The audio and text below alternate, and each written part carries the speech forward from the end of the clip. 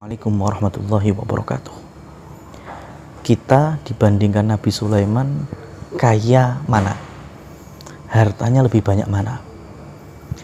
Nabi Sulaiman ketika Allah anugerahkan Sofinatul Jihad kendaraan yang dari kuda-kuda hebat bahkan nantinya Allah berikan kendaraan angin dan kekuasaan yang tidak dimiliki oleh manusia sebelum dan sesudahnya tapi beliau masih senantiasa berdoa Rabbi auzi'ni an askura ni'mataka alayya anugerahkan kepadaku ya Allah rasa syukur atas nikmatku Bagaimana dengan kita?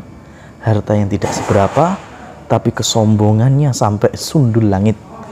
Maka mari kita belajar syukur dari seseorang yang Allah bukakan dunia di sisinya. Nabi Sulaiman alaihissalam. Wassalamualaikum warahmatullahi wabarakatuh.